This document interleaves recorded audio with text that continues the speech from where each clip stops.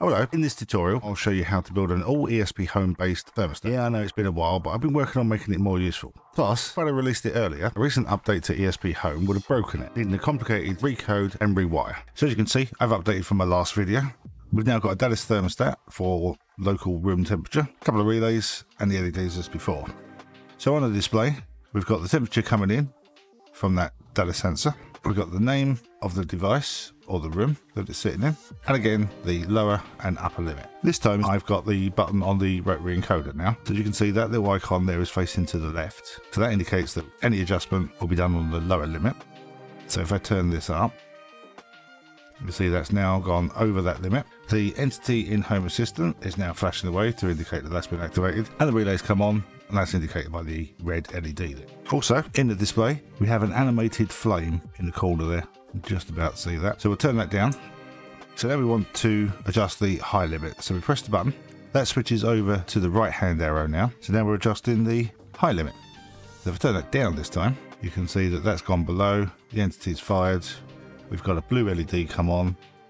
And now we've got an animated fan. Another feature I put on this button, if I hold it down for more than one second, the center icon changed to a bulb, and now the rotary encoder adjusts the brightness of the display.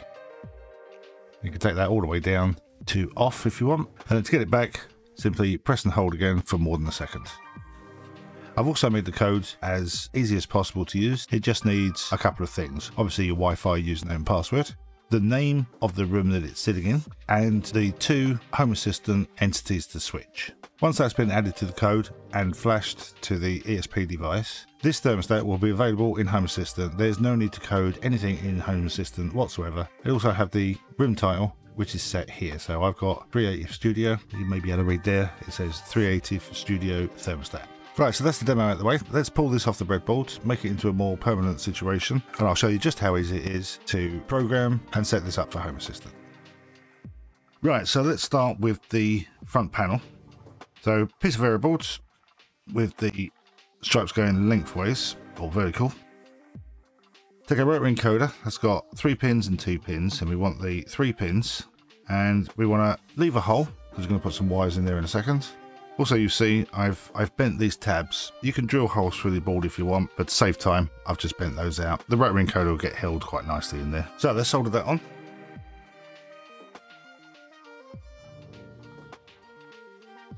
Next we need the display. Now, because of the rotary encoder and the way it sits up, the display is going to have to be a little bit higher. So what I've come up with, with the longer pins that you get with the D1 minis, you can push these through. If you get it just right, they'll push all the way through. And I've made this setup that that is exactly the right height, which is handy. Both pins come through the bottom, but they should go through your veroboard. And here's one I made earlier. So from the top of the rotary encoder, where we've got two pins, I'm going to leave three holes, and I'm going to put that in the fourth one. So there are three rows and then this is in the fourth. Right, next job is we need to isolate these from each other. And for that, as you've probably seen before, I use a drill bit. So I'm going to isolate that row of pins by drilling a, not a hole, but I'm just going to take out the copper. Okay, so now you can see I've got the tracks isolated between those. That goes all the way through. You'll see why in a second. That's isolated from that, and these are isolated from each other here. So that pin there is zero volts on the display. I also need the zero volts for the switch and the zero volts for the rotary encoder. So what I'm going to do is I'm going to keep that track as it is, and I'm going to short these two together with a blob of solder. So now all of these are connected. All I need to do now is put the edge connector on. And for that, I'm going to take one of these. I'm going to bend the edge over just by placing it on the desk and bending it up. And here's one I made earlier. What I want to do is leave a reasonable amount of space. There's nothing going in here, so it could be anywhere. But I'm going to leave four holes this time and put it on the fifth row.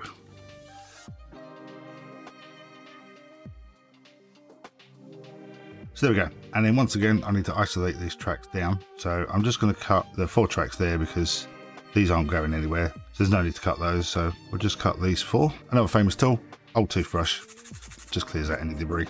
Let's wire this up now. So first of all, let's do the zero volts or ground.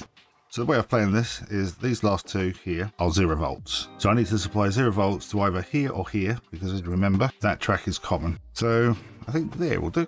So take a bit of black wire, strip it off. I'm going to tin the ends so it doesn't fray when I poke it through the hole. Normally get a blob on the end, so just snip it off. So if I come off the second pin there, and that should be the one that's shorted out to all of them, it is. So I'm going to cut that a little bit longer than I need. And then use a pair of pliers to hold the insulation, and then with my cutters, might even be able to do it with a nail actually. Yeah, with my nail. So we'll twist that, so a bit of solder on the ends, and then using my tweezers, I can just bend that into the hole and solder it down.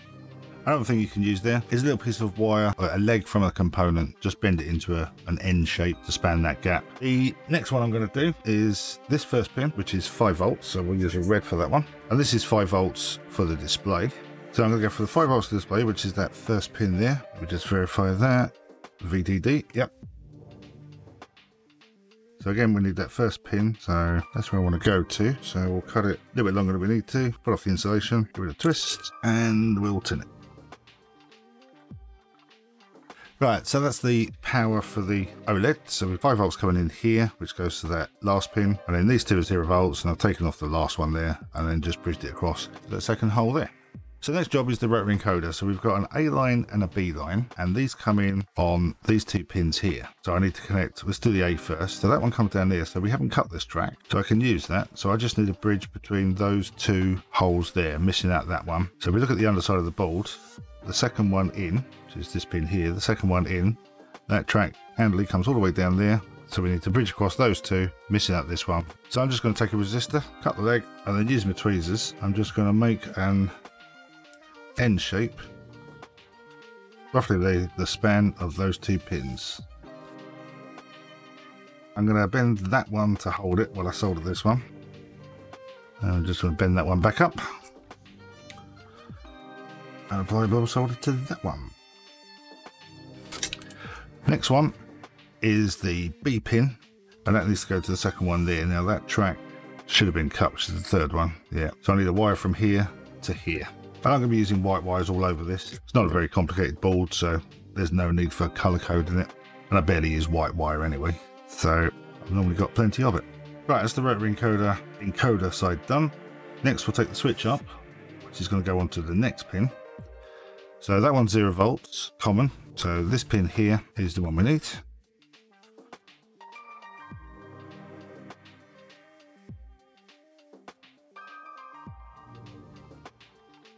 The next two are the, the I2C data pins for the OLED, and that's the next two pins in order actually. Can probably cut two of these now. On the board, the last one there. So where did I cut that? I've got a couple of pins, so we'll come off of this one here. That's the last pin on that one, that socket. And then the next one, come off of there as well. Oh, never buy really thin solder until I pick it up.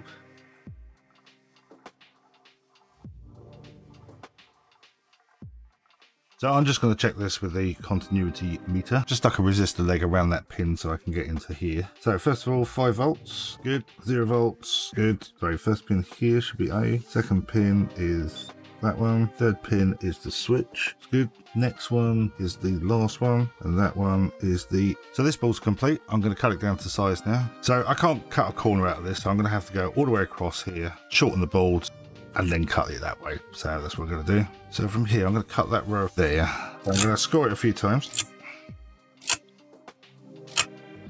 In both directions.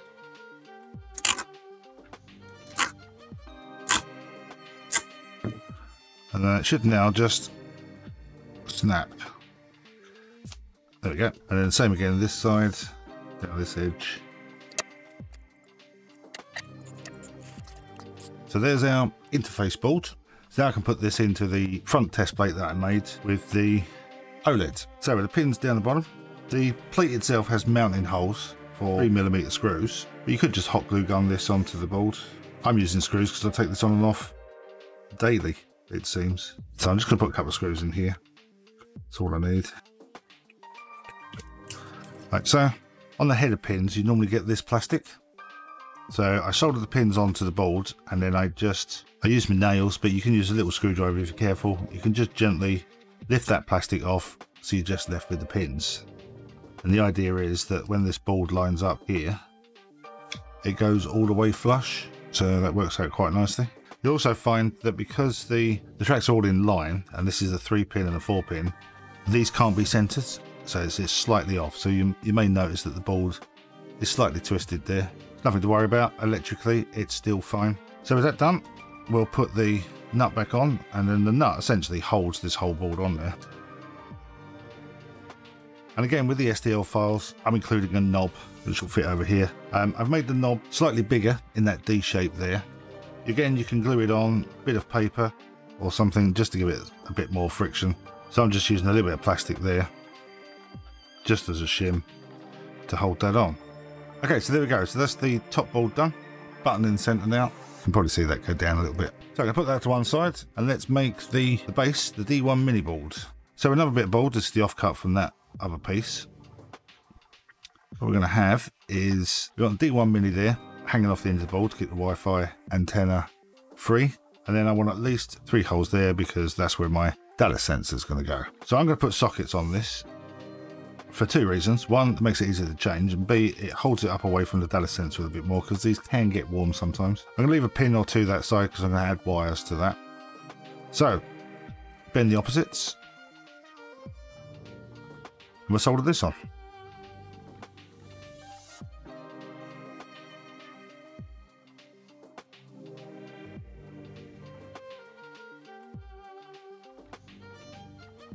Okay, that's that done. I'll take that off for the time being. And the Dallas sensor. So I'm going to put that this side actually. And with the flat side facing towards me, come away one and I'm just going to solder that. And I'm leaving the legs as long as possible. So I'm going to bend this out away from the board as well. I'm just going to put that in for a minute. I'm going to cut this board so it hangs off the edge in a minute. So obviously this needs a zero volts and we'll just plug that back in for a reference. So second one up needs to go to the bottom pin there. So miss one, which is 5 volts, take the second one up. I'm just going to pinch that off. Like the PVC shielded wire, this doesn't melt when you get the solder line too close to it. Okay, next wire I want to use is the data, and this one that's the center pin. So I'm using D3 for this, so ground, then we've got D4, then D3. So miss a pin. So it's lined up with the middle pin, come off of that one. And I'm going to take this up the inside of the holder, which is another reason for using a holder. And again, we want to miss a pin, come to there. It's a bit long, but I don't care. Okay, there's one more wire I need for this, and that's the power. And normally I'd run this off of 5 volts or 3.3 on the other side here, but for some reason ESP home code changed, and if you've got a Dallas sensor powered and the OLED powered at the same time, it won't connect to the Wi-Fi. So I've had a little workaround, and what I'm going to use is I'm using the RX because I'm using the other pins. I'm going to drive that low when it boots, so that the Dallas sensor is off, essentially, not powered. And then after the Wi-Fi is connected, I'm going to bring that high to supply 3.3 volts to the Dallas sensor. So I need a red wire between the top pin of the Dallas sensor and the second pin down by the it. Yeah, second pin down for the RX. This was working. This project was ready to be done. And then ESP Home Update broke my project. So it's just as well I waited this long because if I'd have built these and you'd have built these and I'd got the circuit boards designed and then all of a sudden the ESP home update stops them all from working, none of us is going to be happy. I have mentioned it in an issue, so hopefully someone will look at that and realise what's going on. They'll probably fix it, but not in time for this board. So let's cut this board down to size. Actually, before that, I've got to isolate these tracks from each other.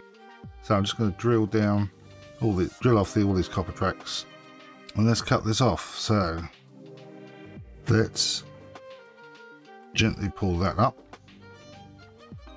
And then again, I want a couple of holes here for wiring in a minute. So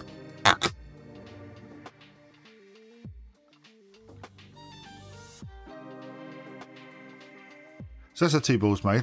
Now I'm going to make a loom so we can unplug the display when we take the front of the case off. So the next job is to build the loom and the connector.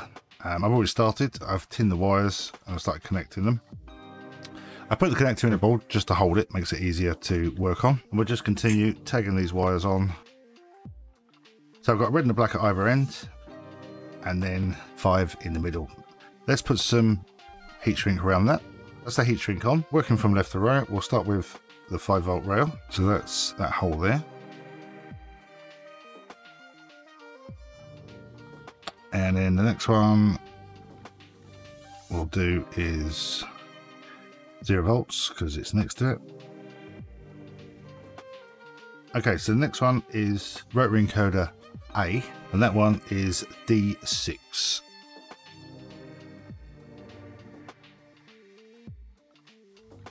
Next one is rotary encoder B. That's on 7. Next one on our loom is the rotary encoder switch. And for that one I use D4.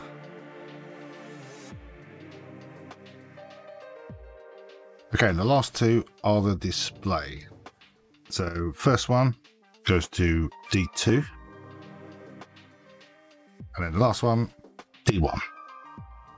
So next thing to do is get this programmed and set up for the first time. On the GitHub page for this project, I've shared the fonts, icons, and animations I use. These need to be copied to your ESP home folder before creating this thermostat device, or it'll throw up an error if you can't find them. So on the GitHub page, hit the code button mm. and then download zip. I'll save this to my desktop.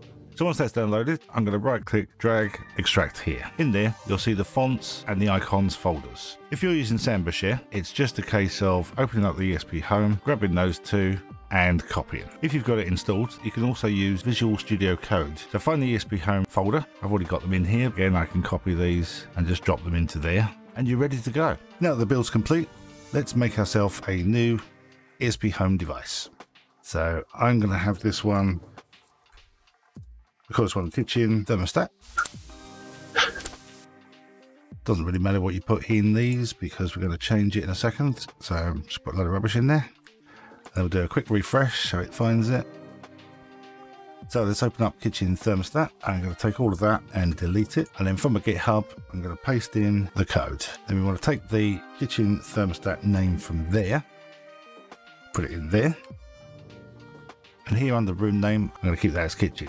For the heater and cooler entities, this can be any entities you've got in Home Assistant already that's controlling your heater and cooling system. So for instance, in the kitchen, let's say you've got a heater and a fan controlled by Home Assistant. So here you would have your switch for your fan and your switch for your heater. Now that we've added those in, I'm going to save it, close it, and compile it. Okay, that's done. So download it, and I'm going to put this on my desktop. That's done. And then we're going to start ESP Home Flasher. Let's plug in the D1 Mini. Refresh there, get the COM port, and then we'll browse to the thermostat and we'll flash it. That's connected to the Wi-Fi. It's all good. And it's connected to Home Assistant as well. So we can close that down. Let's go back to ESP Home Code. Next thing we want to do is get the address for the Dallas sensor. Each one's different and we'll have the address there. So there it's found the address. So we're going to copy that, out of there, go to edit, and we'll scroll down to the Dallas sensor, which is under sensor. We're going to paste in the ID. I'm going to save it. Next we want to scroll up to the top and we want to uncomment those two lines. And now we can uncomment that line as well. As I said previous, the ESP home code has changed, so we can't have the Dallas sensor powered and the OLED powered at the same time. So as a workaround, I'm turning off Dallas power switch, which is GPIO 3, which is the RX pin on the D1 Mini. So when this powers up, Dallas power, the internal switch, is turned off, which means the Dallas sensor is not powered. And then after 20 seconds, that gets powered so that when it boots, both of the devices are not on at the same time. So we'll uncomment those and we'll upload one more.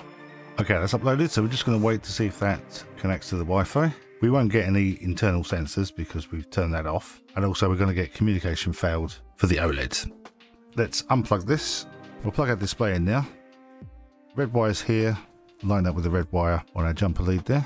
Make sure that's all connected and power it back on again. So we close this down and then reopen it so the logs start again, and we should see that now connecting to Wi-Fi and of course Home Assistant.